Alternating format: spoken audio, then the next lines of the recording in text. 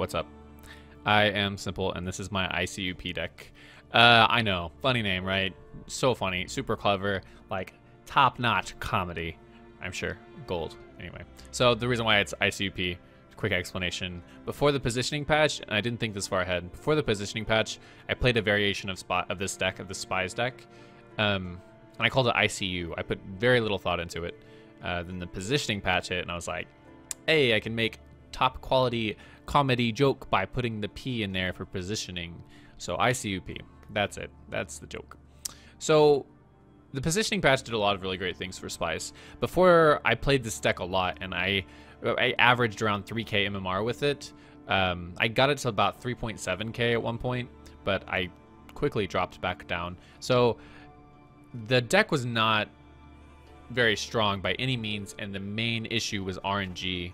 The RNG of emissaries in particular, because emissaries before they would just pull whatever was on top of the deck, uh, whatever bronze card was on the on top of the deck, I should say. And that was a big issue. And there's a there's another really big issue with that, which is that before brigade would not be buffed by spies that you played after a brigade was played. So if you played a brigade and then you started playing spies, then that brigade did not receive buffs for those spies that you played after it was on the field. Which is really bad because you could play an emissary and it would pull a brigade and then suddenly you've got like a 9 strength brigade because you only have one spy in the field with that emissary and that brigade is not going to get any stronger than 9 strength. Because remember, eh, before the positioning patch, they gained 3 strength for every spying unit rather than 2 now. Um, so the positioning patch did a great thing for emissaries by making them way less RNG. So now you get to choose between two of the top bronze units in your deck. Um, so the two top bronze units, you get to see them both, and you get to play one of them, and then it shuffles the other one back in. Uh, which is important to, to understand that it shuffles the other card back in your deck, so you don't actually know where it's going. Um, so just be aware of that.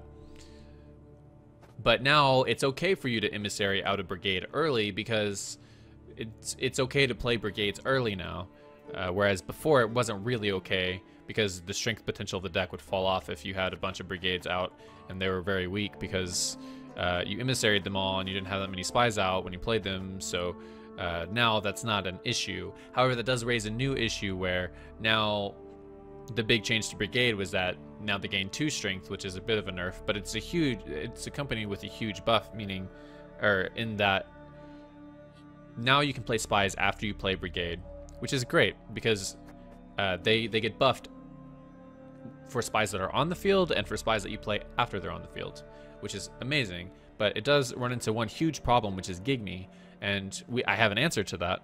Um, but the Gigme problem is if you play, no matter when you play your brigade, they're always going to end up being the same strength, assuming that there's a, the same amount of spies on the field whenever you play Brigade. And the way you go around that is by using Nausicaa Brigade, which Nausicaa Brigade serve two functions. One is to stagger your brigade so that you can't get gignied. The other function is to kill kill your spies, emissary mainly, so that you can Vic medic them and gain insane deck thinning, usually in the first or second round. Um, so that's really cool because you can kill your emissary, which means that so you play. Let's say you emissary and you have a brigade on the field. So this this brigade is eight strength. Now, if you play another brigade, it's also going to be eight strength, which is bad. Um, so you kill your emissary with your Nausicaa brigade. This guy is still eight strength. Then you res the emissary with the Vic medic, and he pulls another brigade. So the emissary has buffed this guy to 10 strength now because you played it twice, and you play a another brigade with that emissary, and now this guy is 8 strength. So 8 strength, 10 strength. Now you have a staggered brigade, and you don't have to worry about Gigme. So that's that's a lot of a lot of value coming from the Nausicaa brigade. Not only that, they gain 4 strength whenever they kill a spy, which is really cool. Um, so very good card, very cool interactions here, very good buffs to the spies deck in general. Um, if you haven't watched my other deck or my other deck guide, I we'll go over it briefly because it's no longer relevant because it was before the positioning patch. But a lot of it was still relevant, so if you do want to watch it, it's not going to hurt you. But so the main the main idea of this deck is the operator operator Cantarella combo, which is why we have Stefan and Renew in our deck, both of these cards, because having the ability to renew Stefan is incredibly valuable. Also, if you if you have to renew Vilgefortz, it's not it's not necessarily bad all the time. So it's not terrible to renew Vilgefortz. And then uh, you will almost never renew Letho, but I guess maybe if you defensive Letho, then you can renew him in the future.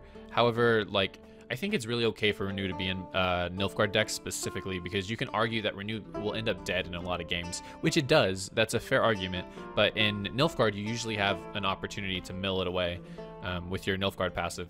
So having Renew in your deck, I think, is is way more justifiable in a Nilfgaard deck than in other decks. So Renew is great because because you can you have a ton of control with Stefan and even more control if you can Stefan twice, which this deck is very based around combos. I'll talk about the Cantarella combo here in a second, but um, so we've got we've got the Letho combo, which is uh, you Letho units on their side, which he banishes them and gains their strength as base strength. And then you can debomb Letho or you can deshackle Letho to make him not gold anymore, and you can pull him back with Calveit or Treason which is huge. It's a huge strength swing. Letho is incredibly powerful and underestimated, in my opinion. So that's that's one gigantic combo. The other gigantic combo, which is even more important than Letho, I would I would argue, because it can uh, it gives you ton of control of your deck and it gives you the ability to pull Letho, is uh, Operator Cantarella Decoy. What that does is that gives you three Cantarellas, and Cantarellas are huge for you because not only do they they deck thin by potentially two cards if you think about it, because the way that Cantarella works is you play them, you play Cantarella, and then you get to look at a card. Now you can keep that card, or you can place that card on the bottom of your deck, which means you probably won't see that card again in the future if you place it on the bottom of your deck. That's kind of like deck thinning. That's that's amazing because you can you can see if a card if a card is dead in a matchup, you can put it on the bottom, or if you pull Roach, for example, you can put it on the bottom. So you're never gonna have to see that card again. That's deck thinning. And then you also get, if you do put a card on the bottom of your deck, you get another card. So you potentially deck thin by two with every Cantarella play, which, uh, not saying that you ever will, but if you bottom deck three times with Cantarella because you have two Cantarellas with Operator and then you decoy the Cantarella that they play, that's like six six ways, or six different deck thinning mechanics that you that you potentially have, and it gives you a ton of control over your deck, which is really cool. But not just that, Cantarella is a huge strength swing, so every Cantarella buffs Imperial Brigade if you have them, and um, I'll give you a number and I'll explain it.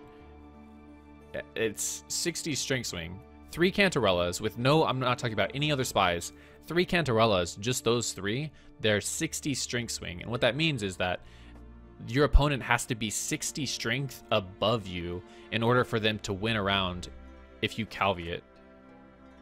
I hope that makes sense. Um, and I'll explain the math. So Cantarella loses 6 strength whenever you pull her back to your side. So if you use Treason, she'll lose 6 strength. If you use Calveit to pull her back, she she'll lose 6 strength.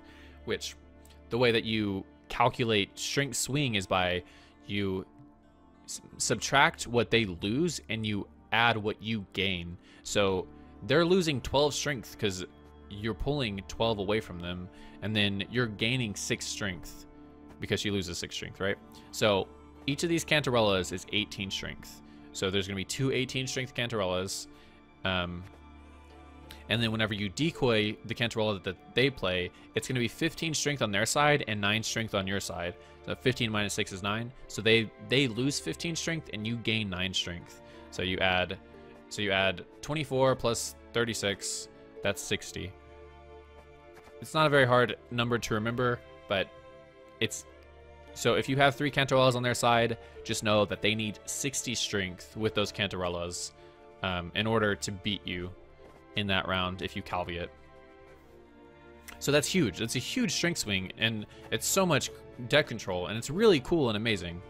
Um, I, I like this deck a ton uh, I I'm gonna I mentioned debomb and I mentioned deshackle, but the reason why they're both in my deck uh, mainly is because of Bork. Things like Bork and Combi.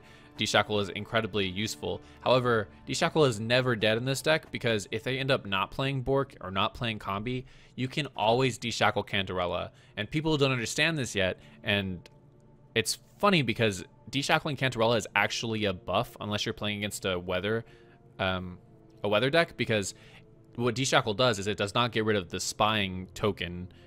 Is, it a token? I'm not sure. It does not get rid of disloyal in a card, which people imagine that it does. They have no reason to think that, I don't think, but they imagine that it does, and sometimes people will deshackle your Cantarella, which is a positive for you, because they no longer, Cantarella will no longer lose 6 strength whenever you pull her if she's deshackled, because her ability is no longer active, which means that instead of being 18 strength like I described before, suddenly Cantarella is a 24 strength swing, which is so good. So I laugh every time somebody tries to deshackle my Cantarella. But that also means that we can incorporate a deshackle into our deck without the fear of this being a dead card. Um, there are obviously situations where maybe you pulled your Cantarellas last round and you top deck uh, deshackle and you have nothing to use it on. But in in a lot of cases, conceivably, if you have nothing to use deshackle on in that matchup, you can use it on a Cantarella for for major major gains here. Um, so yeah, so that's the deck. I I tried to talk pretty fast. I didn't want to make this super long video and I don't really plan on putting gameplay behind it either. So um, hopefully, hopefully everything gets across. If you want to see me play the deck, you can watch my stream and um, ask me to play the deck, and I'll probably comply. I really enjoy playing this deck. There's there's one huge issue with this deck right now, which is why it's not 100% um, competitive. Like I said before, I, it was like hovering around 3k in my hands before the patch. The, after the patch hit, I got to 4K with this deck. I played this deck from around 3K to 4K. Um, I've gotten up to 4.3K with this deck. So, so this is like a 4K deck, assuming you don't just play against this major issue. And I will tell you, I'll, I'll talk about this because it's so frustrating to me that it even exists as a mechanic.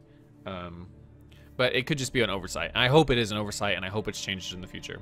But the way that this deck is, or the reason why this deck is not viable in a purely competitive sense is because Monster Consume, the archetype, hard counters this deck. Most Monster Consume lists run Ik Ekimmara, and like all of them run Kayran. So they have one very easy win condition, which is to Ekimmara Cantarellas. So if you if you use the Cantarella combo against them, they're going to Ekimmara your Cantarellas, which is really bad because, like I said before, Cantarellas are a 60 strength swing, and they're denying that. Or they can Kayran, a can your Cantarellas. And it's, it's really bad and really difficult to play against. Um, and I, I personally don't believe that Consume should be able to consume disloyal units for that reason, because it makes this deck basically unplayable against that archetype. But you can you can try to play it against that archetype, and I encourage you not to just give up immediately, which I've done before at the moment I see Monster Consume. Um, but outside of that, it's a fun deck. I encourage you to play it. Hopefully, hopefully, in the future, Monster Consume won't be able to to eat Cantarellas at least, or Ekimmara won't be able to eat disloyal units at least. Kayran.